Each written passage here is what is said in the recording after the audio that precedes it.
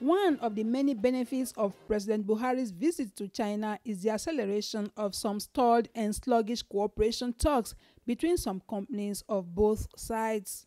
After three years in negotiations, the cooperation agreement between Consultancy Delamore International Limited, Silverquest Nigeria Limited, and Jidere International Consultancy Limited with Baitu Beichi Chilam Company of China has been completed. It is for the construction and generation of 4,000 megawatts of electricity using coal in two years. The deal also includes the Waste to Power project in the states of the Federation. They can generate up to 10 to 30 megawatt of electricity. So if we take it over 37, 36 plus one state of Nigeria, that is going to add over a thousand megawatt to our national um, power generation. And you know that this is going to be stable because as every day we generate the waste, so it means every day the incinerator will work and every day we have the power. The visit of President Muhammad Buhari to China is a great step towards solving the problem of power supply in Nigeria.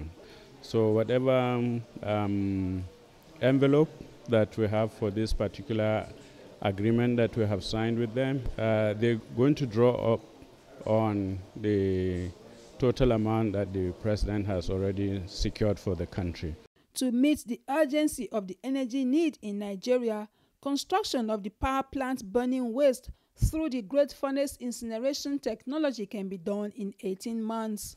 Immediately after the construction is finished, the power plant can be put into operation and generate electricity also specializing in the management and cleanup of pollution in the environment and mine sites.